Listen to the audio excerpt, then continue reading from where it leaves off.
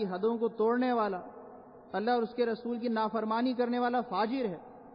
تاجروں کا حشر قیامت کے دن فاجر کے طور پر ہوگا اللہ منی تقا و برا و صدا کا سوائے اس کے جو ڈرا، اپنی تجارت کو اللہ تعالیٰ سے ڈرتے ہوئے اس نے حرام سے بچایا وہ برا اور نیکوکار ہوا، بھلائی کی۔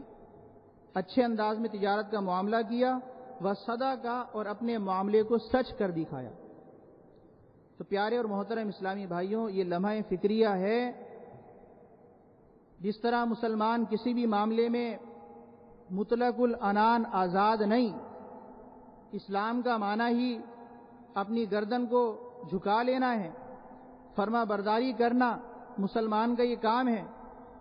تو جہاں دیگر معاملات ہیں، وہاں پر ہمیں اللہ اور اس کے رسول عز و و صلی اللہ تعالی علیہ وسلم کے کہے پر چلنا ہے۔ ہماری شریعت نے، پیارے دین اسلام نے جو ہمیں حکم دیا ہے، جس جس معاملے میں جو جو احکامات دیے گئے ہیں، ان کی پابندی ہم نے ہی کرنی ہے، کسی اور نے نہیں کرنی۔ دین احکامات کے سارے معاملات ہمارے لیے ہیں۔ اگر ہم اس کی پیروی نہیں کریں گے تو سراسر خسارے اور گھاٹے میں۔ تو تاجروں کا بھی یہ حال ہے۔ تجارت کورس ہے تجار جو خرید و فروخت کرتے ہیں، ان کے بارے میں جو یہ فرمایا گیا کہ قیامت کے دن ان کا حشر فاجروں کے طور پر ہوگا، یہ کون سے تاجر ہیں جو اپنی تجارت کو حرام سے نہیں بچاتے، اللہ تعالیٰ کا خوف نہیں رکھتے۔ ان کا مال کہاں سے آ رہا ہے، حلال ہے یا حرام، اس پر نظر نہیں رکھتے۔ ایسے تاجر قیامت کے دن فاجر ہوں گے۔ جو حرام میں مبتلا ہوا، دنیا میں بھی فاجر ہے۔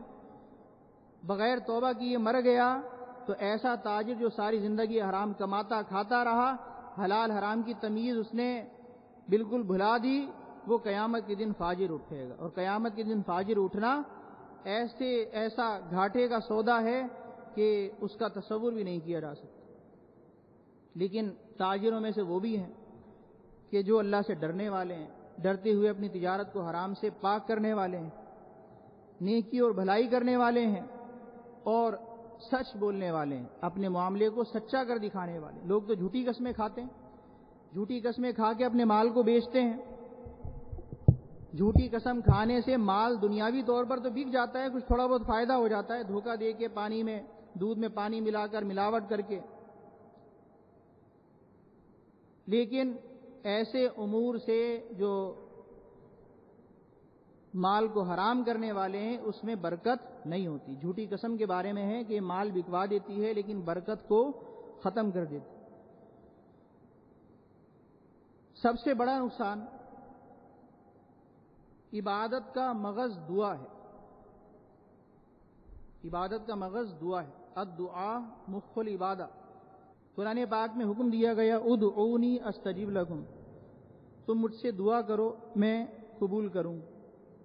قرآن پاک کے اس حکم پر جو اللہ تعالی نے دیا کہ بندے کو دعا کرنی چاہیے، اس سے مانگنا چاہیے۔ احادیثوں میں ہے کہ شہری کے وقت دعا قبول ہوتی ہے۔ مانگو جو مانگنا ہے۔ اللہ تعالیٰ فرماتا ہے، میں دوں گا۔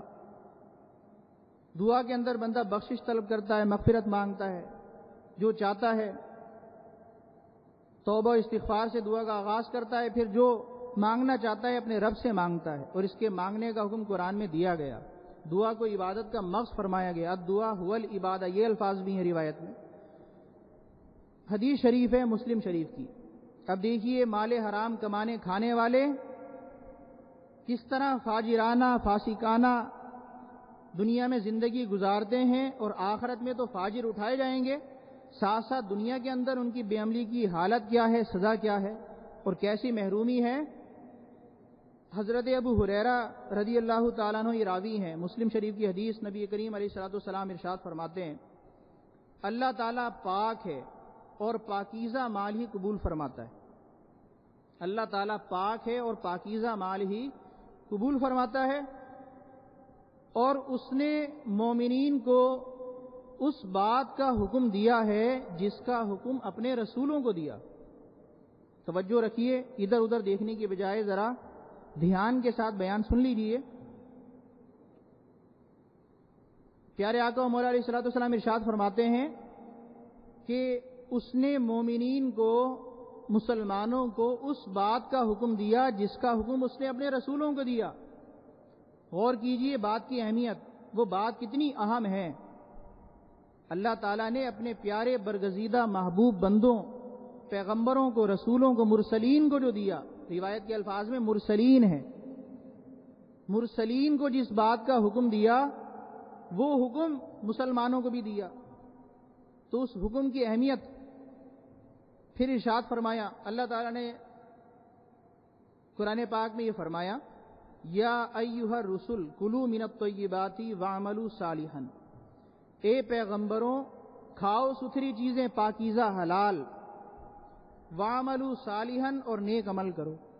تو دیکھیے اللہ تعالیٰ اپنے رسولوں کو حکم ارشاد فرما رہا ہے، کھاؤ ستھری چیزیں اور نیک عمل کرو۔ انبیاء کرام معصوم ہوتے ہیں۔ ہر قسم کے گناہ سے پاک ہوتے ہیں، وہ گناہ نہیں کرتے۔ لیکن یہ حکم ارشاد فرمایا جا رہا ہے۔ امت کی تعلیم کے لیے۔ اور ساتھ ہی پھر آگے ارشاد ہے کہ مومنین سے بھی اللہ تعالیٰ نے ارشاد فرمایا یا ایوہ الذین آمنوا کلو من طیباتی ما رزقناکم۔ اے ایمان والوں ہمارے، ہمارا دیا ہوا ستھرا رزق کھاؤ۔ اے ایمان والوں ہمارا دیا ہوا ستھرا یعنی حلال رزق کھاؤ۔ تو وہاں پر بھی رسولوں کو طیبات، پاکیزہ، حلال چیزیں کھانے کا حکم دیا۔ اس آیت مبارکہ میں ایمان والوں کو اپنا دیا ہوا ستھرا حلال رزق کھانے کا حکم ارشاد فرمایا۔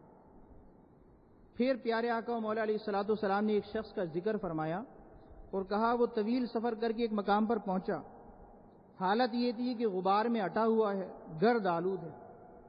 آج کا سفر نہیں، آج کا سفر بھی انسان کرتا ہے تو اس کی حالت بری ہو جاتی ہے۔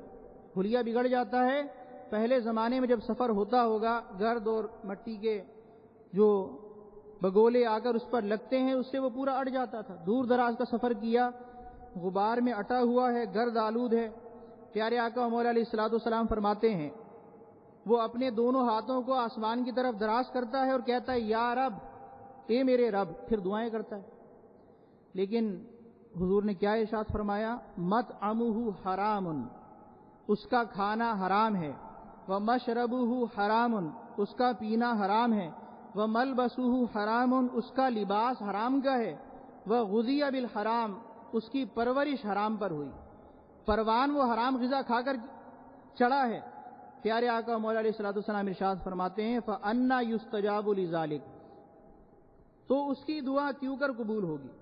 اس کا کھانا حرام، پینا حرام، پہننا حرام حرام پر اس نے پرورش پائی۔ فنا یوس تجاب الظالق تو اس کی دعا کیوں کر قبول ہوگی؟ تو پیارے اور محترم اسلامی بھائیوں، حرام کھانے کمانے والے دنیا میں مال پر نظر رکھتے ہیں، مال کا حصول ان کا متمع نظر ہوتا ہے، لیکن وہ اللہ تعالیٰ اور اس کے رسول کی ایسی نافرمانی کا شکار ہوتے ہیں کہ آخرت میں دردناک عذاب اور دنیا میں دعا کی قبولیت سے محرومی۔ جب انسان رب تعالیٰ سے دعا کرے اور اس کی دعا قبول نہ ہو، دعا جو قضا کو بدل دیتی ہے، دعا جو قضا کو بدل دیتی ہے اپنی پریشانیوں کے لیے، حل کے لیے انسان دعا کرتا ہے، اللہ تعالیٰ سے پریشانیوں کا حل طلب کرتا ہے، حاجت روائی کی دعا کرتا ہے۔ جب وہ دعائیں اس کی قبول نہیں ہوں گی تو اس کی کیسی محرومی والی زندگی ہوگی؟ دنیا میں وہ کیسا محروم ہوگا؟ قدم قدم پر ٹھوکرے کھائے گا۔ حرام میں برکت نہیں، یہ ساری باتیں روایات میں موجود ہیں۔ وہ اس کی وجہ ساری یہ سامنے نظر آتی ہے۔ تو پیارے اور محترم اسلامی بھائیوں، ہمیں حرام کے قریب بھی نہیں جانا۔ اور انسان گناہ سے اس وقت بچ سکتا ہے جب وہ گناہ کو گناہ سمجھے۔ کیا حلال ہے، کیا حرام؟ کیا حلال ہے، کیا حرام؟ کیا جائز ہے، کیا ناجائز؟ دین کے دیگر شعبوں میں بھی۔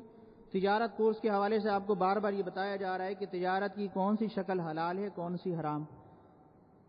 حلال حلال ہے، حرام حرام واضح ہوتا ہے، بعض چیزیں مشتبہ ہو جاتی ہیں۔ ان کے بارے میں آدمی فیصلہ نہیں کر پاتا تو ایسی چیزوں کے بارے میں حکم بیان کیا جاتا ہے۔ فقہ نے، علماء نے قرآن و حدیث میں غور و خوص کر کے جن باتوں کو ہمارے سامنے احکامات کی صورت میں بیان کیا کہ فلاں چیز حلال ہے، فلاں حرام، یہ بھی ہمیں ماننی ہے۔ تو حرام سے ہمیں بچنا ہی بچنا ہے۔ اللہ تعالیٰ کی نافرمانی سے بچنا ہی بچنا ہے۔ اور بچنے کے بارے میں میں پھر اس بات کا یادہ کروں گا۔ پہلے ہی میں نے ذکر کیا تھا کہ ایمان اگر انسان اپنا مضبوط کر لے تو اس کے لیے عمل آسان